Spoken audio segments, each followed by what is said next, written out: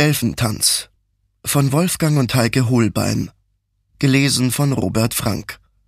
Eine Produktion des Argon Verlags. Der Gorm. Das Tier lag flach und regungslos wie ein dunkelgrün gemusterter Schatten auf dem Felsen. Ein blasser, selbst aus der Nähe nicht ganz klar erkennbarer Umriss, der sich seit Stunden nicht von der Stelle gerührt hatte, und Farbe und Maserung mit dem Weiterwandern der Sonne wechselte. Das Einzige, was von Zeit zu Zeit überhaupt darauf schließen ließ, dass in dem stachelbewehrten Ball so etwas wie Leben sein mochte, war ein gelegentliches Aufblitzen, wenn sich seine Nickhäute hoben und ein Sonnenstrahl auf den dunklen Pupillen darunter glitzerte. Timo beobachtete den Krallenbeißer schon eine geraume Weile. Lange vor Sonnenaufgang war er ins Tal heruntergekommen. Zwar nicht mit der Absicht zu jagen, sondern um jener rätselhaften Unruhe zu folgen, die er in letzter Zeit immer häufiger verspürte.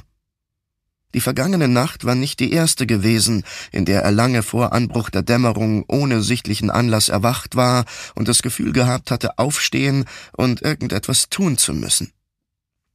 Während der letzten Mondwechsel war das schon ein paar Mal geschehen, und jedes Mal war er ziellos im Lager umhergestreunt, bis er mit seinem Lärmen und Hantieren seine Eltern und die Spürhunde geweckt hatte. Sein Vater hatte ihn nie deswegen gescholten, ja nicht einmal ein Wort darüber verloren, aber Timo hatte deutlich gespürt, dass er doch verstimmt gewesen war.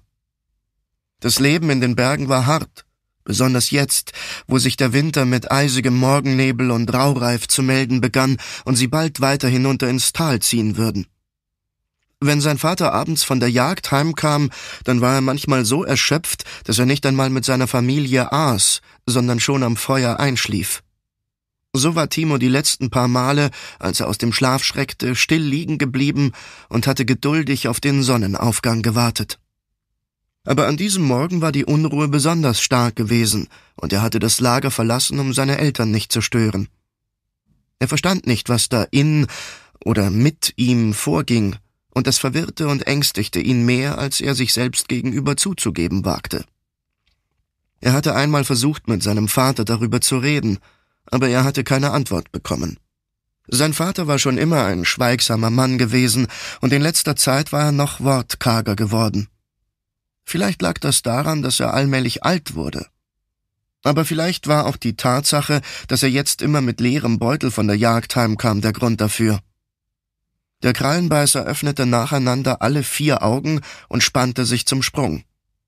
Die Bewegung war unendlich langsam, aber Timo bemerkte sie trotzdem. Er besaß bereits die scharfen Augen und wachen Sinne eines Jägers. Was ihm noch fehlte, war die ebenso notwendige Geduld. Trotzdem blieb er bewegungslos liegen, während der Krallenbeißer sein Gewicht allmählich auf die Hinterläufe verlagerte. Timos Hand schob sich genauso langsam zu seinem Gürtel und löste die Schleuder. Der dreieckige geschnitzte Steinbolzen glitt lautlos in die Schlaufe. Timos Blick wanderte den Fluss hinunter und suchte die Beute, die der Krallenbeißer erspäht haben musste, aber selbst das tat er behutsam und zwang seine Augen, sich langsamer als gewohnt zu bewegen. Krallenbeißer waren starke und gefährliche Räuber, aber es gab etwas, das ihre Stärke noch übertraf. Ihre Feigheit. Selbst eine zu rasche Bewegung der Augen konnte das Tier aufscheuchen und auf Nimmerwiedersehen im Ufergestrüpp verschwinden lassen. Nach einer Weile entdeckte er das Opfer, dem der Krallenbeißer auflauerte.